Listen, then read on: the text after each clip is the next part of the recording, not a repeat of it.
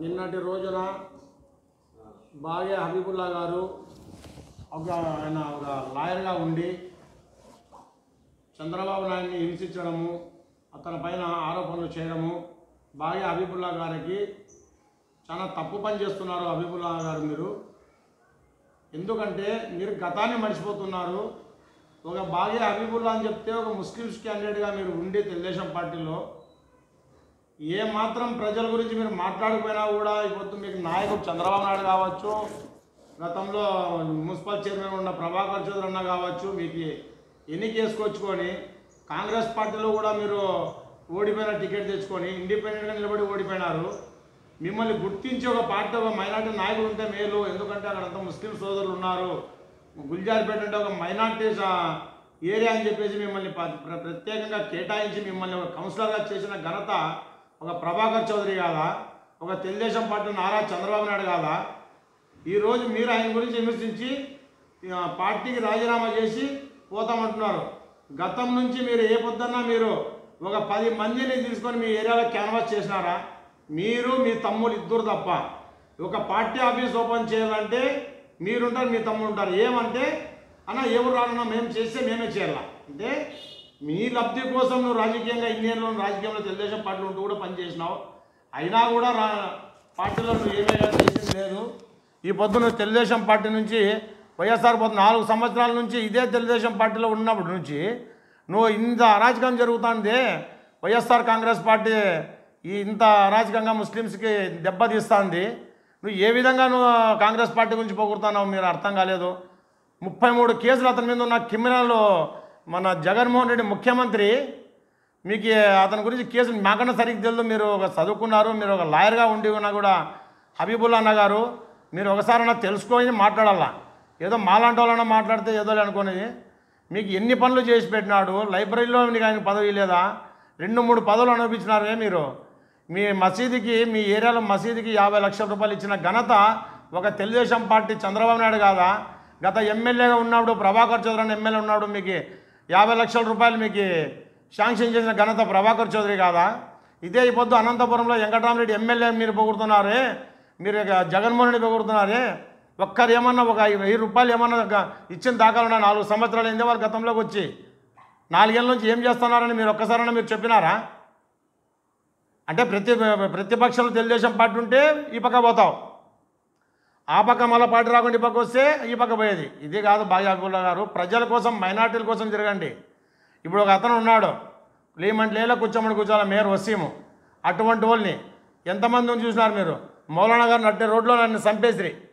మసీద్ గురించి చేస్తా అంటే. ఆ పొద్దు అనడన్నా నువ్వు మాట్లాడినావా ముస్లిమ్స్గా? నువ్వు పదవులు అనిపించినోడే ఒక అరవై ఐదేళ్ళు వయసు ఉంది నీకు. కనీసం ఆరుదన్న మీకు ఆలోచన ఉందా? ఎన్ని పథకాలు ముస్లిమ్స్ ఎంత ఎన్ని పథకాలు పోయినాయి? దులాన్ పథకం ఎక్కడ పోయింది దుకాన్ మకాన్ ఎక్కడ పోయింది విదేశీ విద్య ఎక్కడ పోయింది హజ్ హౌస్ ఎక్కడ పోయింది షాదీఖానా ఎక్కడ పోయినాయి లోన్లు ఎక్కడ ఎన్ని వేల కోట్లు లోన్లు ఇచ్చినాడు? ఒక్కరికి ఏమైనా లోన్ ఇచ్చినాడా? ఒక్క ముస్లిమ్స్కి ఏమైనా చేసినాడా? అతని ఊర్లో ముస్లిమ్స్ తప్ప ఎవరికి ఒక్కరికి ఏమైనా ఫలం చేశానని చెప్పండి. ముస్లిమ్స్కి ఇచ్చిండేది ఏమి ఇచ్చినాడబ్బా అంటే అతను కాళ్ళ కింద పోయి ఎవడైతే పెట్టుకుంటాడో వాళ్ళకి పదవులు ఇచ్చినాడు ముస్లిమ్స్కి. చంద్రబాబు నాయుడు అటువంటి చేయలే. ప్రతి ఒక్కరికి కూడా అధికారికంగా మీరు చేసుకోవచ్చు అని చెప్పేసి అధికారికంగా ఇచ్చినాడు అప్పుడు చంద్రబాబు నాయుడు.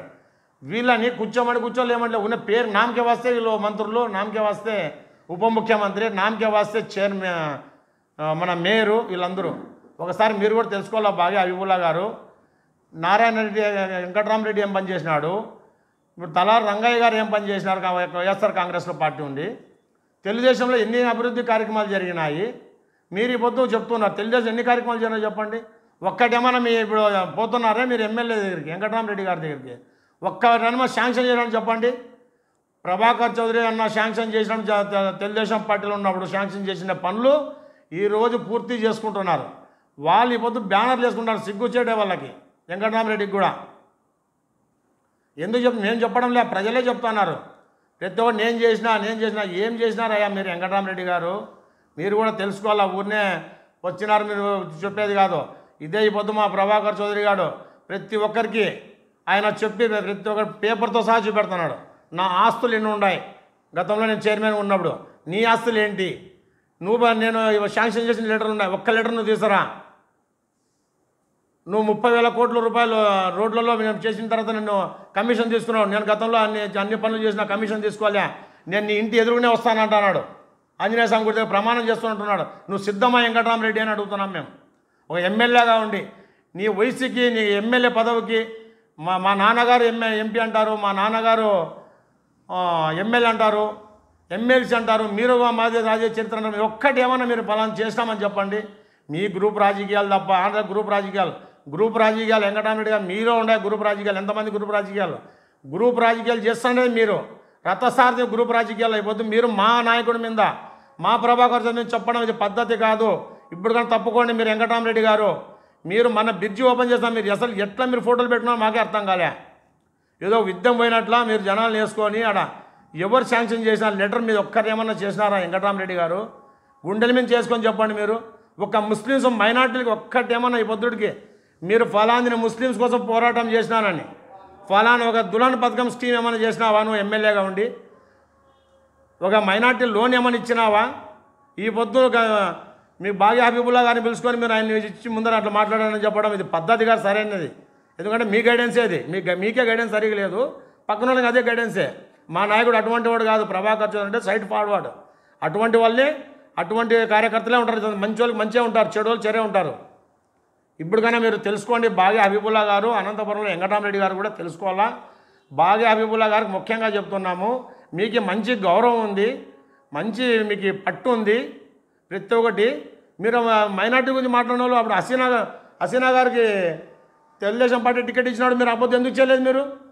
ఆ పొద్దు వైఎస్ఆర్ పార్టీకి మీరు ప- పొత్తుగా మీరు పలకలేదా? మీరు సపోర్ట్ చేయలేదా? లోపల లోపల మీ లబ్ధి కోసం మీ మీ డబ్బు మీకు ప్యాకేజ్ వస్తుందనే ఆలోచనతో మీరు చేస్తున్నారు. బాగా హబీబుల్లా గారు. ఆ పొద్దు కౌన్సిలర్ ఎందుకు ఓడిపోయినారు చెప్పండి? మీరు ఎంతగా మీరు కౌన్సిలర్ గెలిచినప్పుడు మీరు కౌన్సిలర్ మంచి పనులు చేసింటే మీకు ఎందుకు చేయలే? మీరు కాంగ్రెస్ పార్టీకి ఒత్తాస పలికినారు మీరు. ఆడ రాకూడదని ఆలోచనతో. మీ ఎట్లా వాళ్ళు ఉండబట్టే పార్టీలో కూడా అయిపోతుంది దెబ్బతిన కారణం మన కారణం కూడా శాసన మన మన స్థానిక సంస్థల ఎన్నికల్లో. మీలాంటి వాళ్ళ నాయకులు తెలుగుదేశం పార్టీ నాయకులు ఇంకా పేర్లు చెప్పండి నాలుగైదు మంది ఉన్నారు. వాళ్ళందరూ ఉండబట్టే పార్టీకి డ్యామేజ్ అయినది కూడా. ఇప్పుడు ఆయన పార్టీ నుంచి వదిలిపెట్టుకున్నారు గతంలో కూడా పోయాడు ఎన్నికొచ్చాడు ఇప్పుడు పోయాడు. ఇప్పుడు పార్టీకి నష్టమా లాభం. ఆయన ముందు నుంచి అతని లబ్ధి కోసం ప్యాకేజీ. గతంలో లేడీకి ఆ వాటికి ఇస్తే వైసీపీకి సపోర్ట్ చేస్తాడు ఆయన. ఆయన సో గుండెల మీద చేసుకొని చెప్పమనండి ఆయన్ని. ఆయన నుంచి లా నష్టం ఏం లేదు. పార్టీకి లాభం ఎందుకంటే ఇటువంటి వాళ్ళు తెలుగుదేశం పార్టీలో ఉండి ఎన్ను పోటు పొడిచే కంటే పక్కకు పోవడమే మంచిది. కాకపోతే ఏమంటే ఒక పద్ధతి కలిగినాడు ఒక ముందు నుంచి సీనియర్గా ఉన్నాడు కాబట్టి ఆయన తెలుసుకుంటాడనే ఆలోచనతోనే ఈ పొద్దు మేము కూడా చెప్తున్నాము. ఆయన మీద మాకేమీ విదేశాలు ఏం లేవు శత్రుత్వం ఏం కాదు అతనికి. అతను ఒక చంద్రబాబు నాయుడు గారి గురించి చెప్పడం అది పద్ధతి కాదు. ఎందుకంటే చంద్రబాబు నాయుడు గురించి తెలుగుదేశం పార్టీ ఉన్నప్పుడే ముస్లిమ్స్ మైనార్టీకి ప్రతి ఒక్కటి అందింది. కనీసం ఒక కేజీ సేవలు ఈనాడు జగన్మోహన్ రెడ్డి ఈ పొద్దు ఆయన మాట్లాడతాడంటే మాకు బాధ అని చెప్పి ఈ పొద్దు ప్రెస్ మీట్ పెడుతున్నాం.